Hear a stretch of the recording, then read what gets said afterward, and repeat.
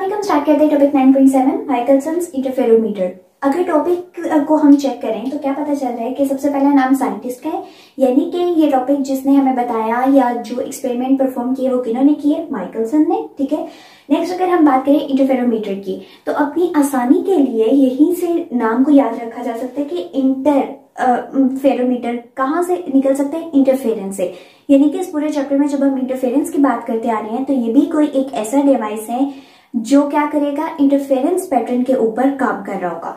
तो इससे हमें क्या ज़ाहिर होगा कि हमने इस टॉपिक के अंदर भी इंटरफेरेंस को बताना है, लेकिन वो इंटरफेरेंस पैटर्न किसने अब हमें दिया है? माइकल ने। इस पूरे के बाद अब इस टॉपिक में क्या ऐसा डिफरेंट था कि हम यंग स्टबल स्टेट एक्सपेरिमेंट को कंसीडर नहीं कर रहे, हम बाकी इंटरफेरेंस पैटर्न को, यानी कि न्यूटन स्ट्रिंग को भी कंसीडर नहीं कर रहे। तो इसमें एक जो खास इंपॉर्टेंट पॉइंट है, वो बहुत ज़्यादा इंपॉर्टेंट है एमसीक्यूज के हवाले से भी। एंट्री टेस्ट में भी अक्सर कुछ डिफरेंट यूनिवर्सिटीज वाले ये फ़र्क पूछ लेते हैं कि आप माइकलसन इंटरफेरोमीटर को क्यों इस्तेमाल कर रहे हो, जबकि यंग स्टबल स्लिप भी सेम काम परफॉर्म करे इंटरफेरेंस का पैटर्न जनरेट करे तो उसको अब हम स्टार्ट करते हैं। सबसे पहली चीज़ है कि हमने इंटरफेरेंस को ही बताना है। मेन्स हमारे पास वेव्स होनी चाहिए। लाइट वेव्स की हम बात कर रहे हैं तो लाइट वेव्स अब लाइट वेव्स आपस में इंटरफेयर तो कर रही हैं, यहाँ पर इंटरफेरेंस का फिनोमिना हो रहा है, ठीक है? अगर हम दोनों के अंदर, यानी कि यंग डबल स्लिट एक्सपेरिमेंट और माइकलसन इंटरफेरोमीटर के दरमियान डिफरेंस देखना चाहें तो यंग डबल स्लिट क्या बताता है? यंग्स हम पूरा नाम नहीं लिख रहे यंग्स डबल स्लिट एक्सपेरिमेंट से पता ये चलता है कि डायफ्रेक्शन होती है, ठीक है? एंड डायफ्रेक्शन के बाद इंटरफेरेंस का पैटर्न जनरेट हो जाता है। इंटरफेरेंस पैटर्न यहाँ पर अगर हम माइकलसन इंटरफेरोमीटर को चेक करेंगे तो इसमें क्या होता है? इसको भी अब हम डिस्कस कर लेते हैं। इसमें होता यह है कि रिफ्लेक्शन के बाद और रिफ्रैक्शन के बाद रिफ्लेक्शन और रिफ्रैक्शन के बाद लाइट रेस आपस में इंटरफेयर करती है। तो यही मेन डिफरेंस है। जबकि अगर हम डायफ्रेक्शन को देखें डायफ्रेक्शन क्या होती है? Bending of wave let suppose ये हमने एक छोटा सा कोई पॉइंट रखा हुआ है, कोई पत्थर ही कह देते हैं हम, और लाइट आ रही है यहाँ पर टकराई। टकराने के बाद जब ये इंटरफेयर करेगी तो इस चीज़ का नाम क्या है? कि ये डायफ्रेक्शन हुई है। बेंडिंग ऑफ़ लाइट वेव्स हुई है। यहाँ पर हमारे पास पॉइंट्स गए थे सेकेंडरी वेवलेट जनरेट हुए और उन सेकेंडरी वेवलेट से या वेव फ्रंट से हमारे पास क्या प्रोड्यूस हो रही है? लाइट की इंटरफेरेंस प्रोड्यूस हो रही है।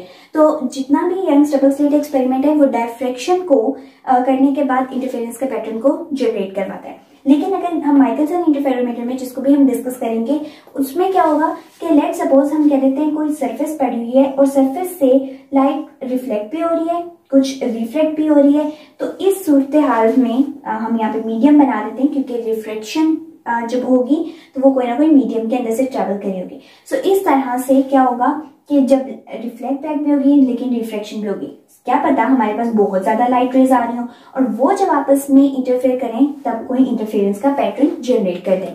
यहाँ से हमारे एमसीक्यूज हो गए क्लियर अब हम इसके पूरे एक्सपेरिमेंटल सेटअप को देखते हैं कि किस तरह से माइकल सर ने इस इंटरफेरेंस को बताया या इंटरफेरोमीटर को बताया बनाया किस बिहाफ पे के रिफ्लेक्शन या रिफ्लेक्शन करके लाइट की इंटरफेरेंस को जनरेट करवाए माइकलसन इंटरफेरोमीटर की हम बात कर रहे हैं। कुछ एक्सपेरिमेंटल सेटअप इस तरह से होता है कि यहाँ पर एक मिरर है मिरर एम वन और ये एम टू मिरर है। मिरर का काम क्या होता है कि अगर कोई लाइट इसके ऊपर फॉल करती है तो ये पूरी तरह से उसको रिफ्लेक्ट बैक कर देता है।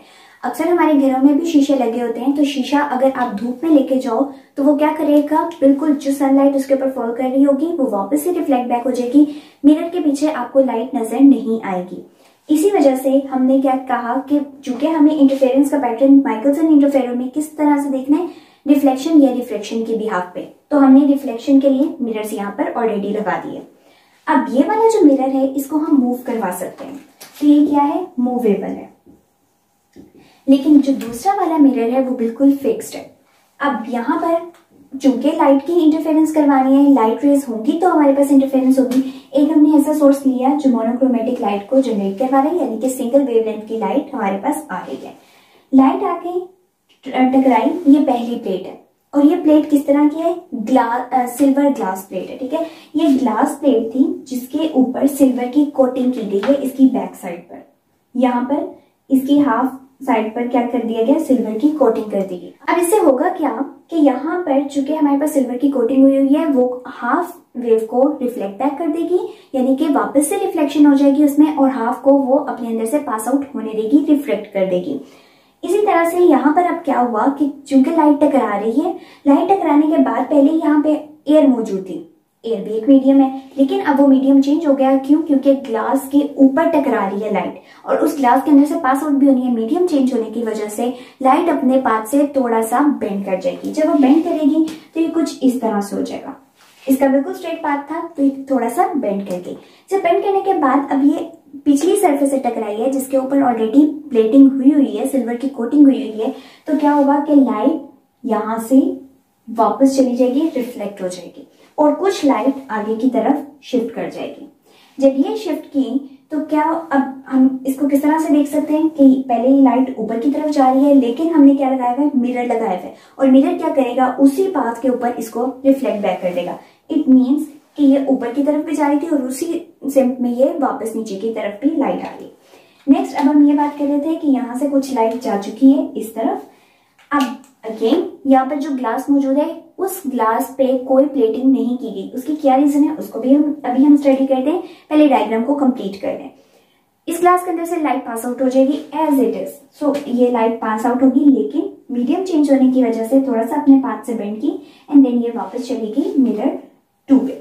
मिरर टू पे टकराने के बाद क्या होगा कि हम पहले इस तरह से बना देते हैं। अगेन मिरर मौजूद है। मिरर क्या करेगा? इसको रिफ्लेक्ट बैक करेगा। ये वापस इसी पाथ पर चलती हुई इधर तक पहुँच जाएगी। जब यहाँ पर पहुँची तो क्या हो रहा है कि ऊपर से ऑलरेडी लाइट आ रही है और वो क्या कर रही है? वो भी यहाँ पर मौजूद है, ठीक है? और ये भी लाइट क्या कर रही है? ये जब यहाँ पर आके टकराई तो इसी तरह से ये वापस आगे की तरफ़ ट्रेवल करना शुरू कर देगी। तो इधर से भी लाइट आ रही है और इधर से भी लाइट आ रही है। इट मीन्स के लाइट अब आपस में इंटरफेयर करना शुरू कर देगी। और उसकी इंटरफेरेंस से क्या होगा कि लेट सपोज़ हमने यहाँ पर ऑब्जर्वर को रखा हुआ ये ऑब्जर्वर की आई है जो इसको पैटर्न को ऑब्ज़र्व करिए तो लाइट यहाँ से चली और चलते चलते क्या हुआ है कि इस डायरेक्शन में ऑब्जर्वर की आँख तक पहुँच रही है और उसको बिल्कुल साफ़ क्लियर हो रहा है कि लाइट की इंटेंसिटी इस वाले पॉइंट से ज़्यादा है या कम है, क्या ब्राइट एरियाज़ आ रहे हैं, क्या लाइट एरियाज़ आ रहे हैं तो इंटरफेरेंस का पैटर्न यहाँ पर जनरेट हो रहा है। अब पहला, जो हमारे पास ग्लास प्लेट थी, उसके ऊपर तो सिल्वर की कोटिंग की गई थी। नेक्स्ट जो ग्लास प्लेट रखी गई थी, उसका क्या पर्पज था?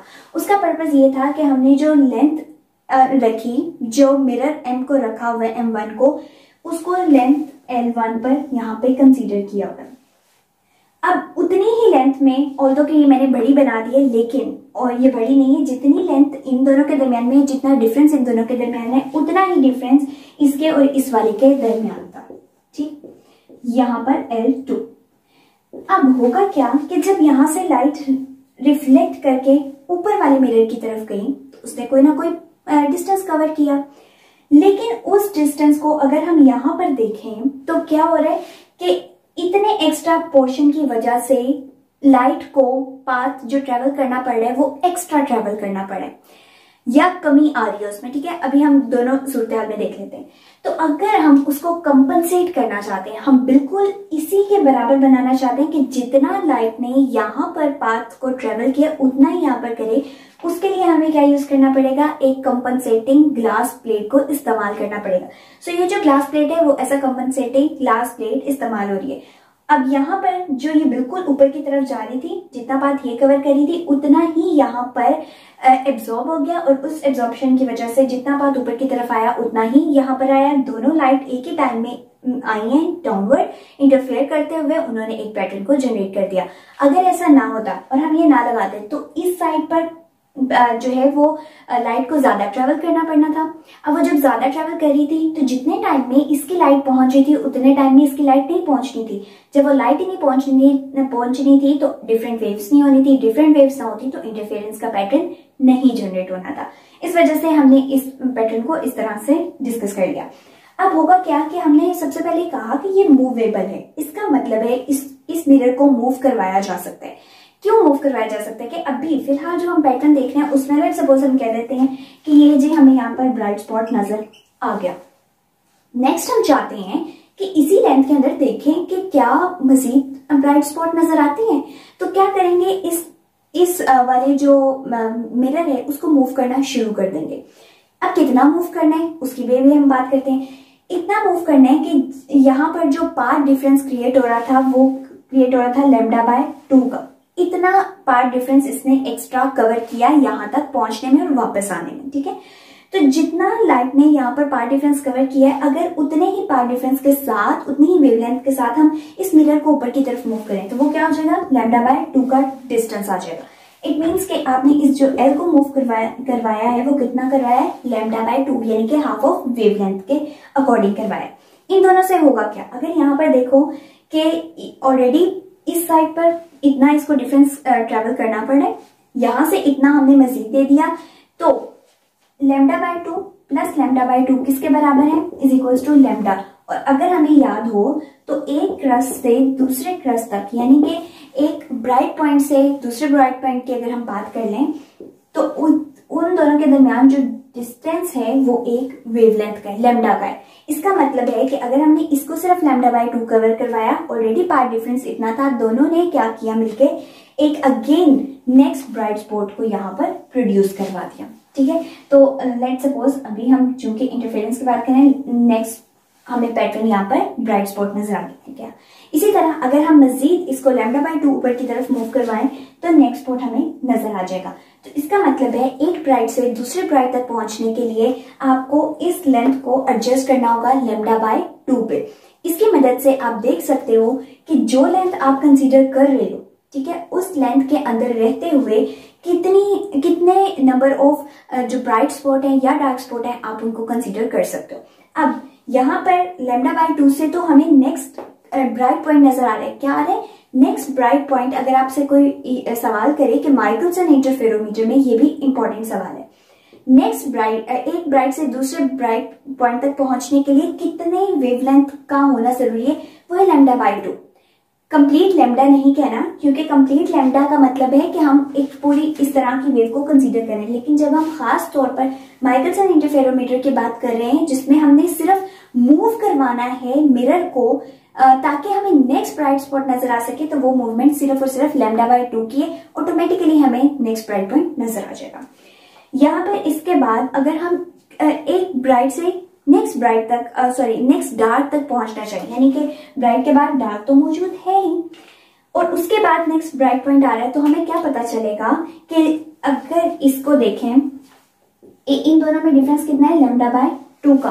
तो नेक्स्ट अगर हम ये देखना चाहते हैं कि एक ब्राइट से इस डार्क तक का कितना डिफरेंस है तो उसको हम कुछ इस तरह से कंसीडर कर लेते हैं कि लेमडा बाय टू जो दोनों का आर है और ये पी, ये ये पूरा पोर्शन इस हाफ़ में डिवाइड हो रहा है। इनके सेंटर में आ रहा है ना, इसको अपनी सिंप्लिसिटी के लिए अगर हम चेक कर लें तो ये क्या बन जाएगा? लेमडा बाय फोर इसका मतलब है कि एक जो ब्राइट पॉइंट से दूसरे ब्राइट तक ब्राइट पॉइंट तक पहुँचने के लिए सेंटर में डार्कनेस भी है और इस इस पोर्शन को देखें तो ये लेमडा बाय फोर के बराबर है, फिर डार्कनेस से ब्राइट तक पहुँचने के लिए ये फिर लेमडा बाय फोर है। तो ओवरऑल आपके पास क्या आ जाएगा? लेमडा बाय टू आ जाएगा।